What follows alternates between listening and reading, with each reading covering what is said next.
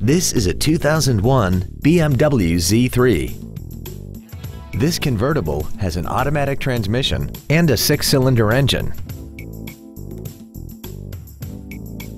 All of the following features are included. Heated seats, alloy wheels, cruise control, a CD player, BMW individual composition, dual airbags, air conditioning, full power accessories, tinted glass, and this vehicle has less than 54,000 miles.